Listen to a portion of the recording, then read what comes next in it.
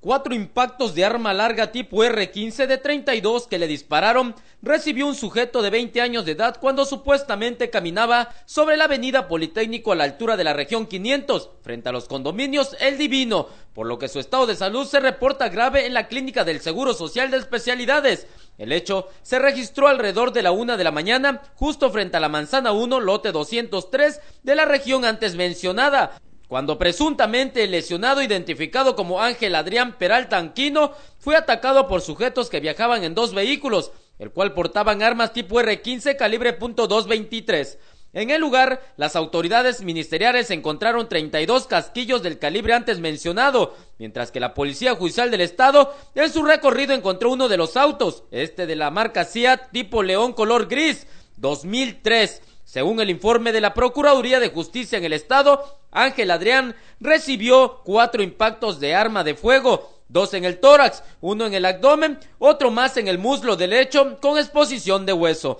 Cabe señalar que en la ráfaga de disparos un domicilio fue alcanzado por tres proyectiles, así como la caseta de seguridad de esta zona habitacional. Mientras tanto, dos elementos de seguridad pública se encuentran establecidos a bordo de un vehículo particular en el lugar donde se registraron los hechos. En la cámara Víctor Álvarez, voz Ricardo Torres para Notivisión.